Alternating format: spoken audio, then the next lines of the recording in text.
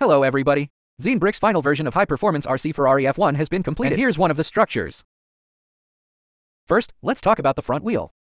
It uses a structure where the main car leans back, because the previous tests found that.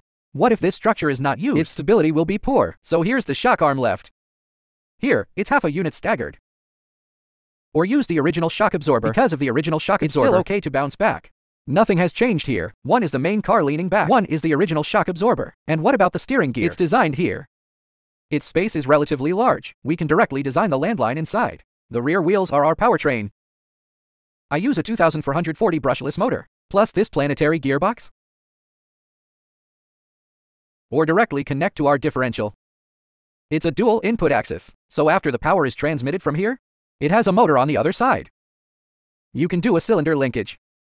Then the cylinders are linked here. I use an 8-gear drive 24 gear. A triple slowdown. What about a transmission like this? It is the one that can be maximized. Put the power on the wheels. Don't put too much motivation into it. Waste it on the friction of this gear. So I'm not using much here. Or use a long shaft. It is recommended to use a motor above 2440. Do not use anything under 2440.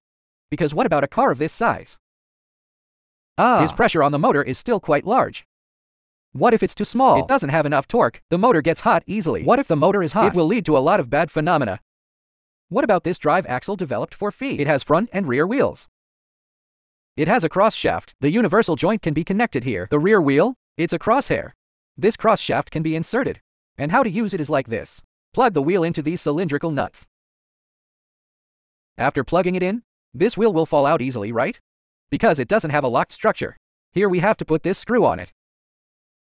Here are three screws. Hold this wheel in place.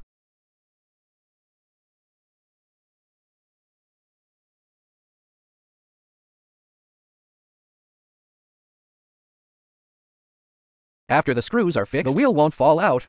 At the same time, this drive axle, it has this higher performance so ball what? bearing built It can in. be solved perfectly. This friction brought about by this high speed. There is also a rear wheel shock absorber. The hardened shock absorber must be replaced. Let's enjoy Zenebrick's brushless motorized kit of an F1.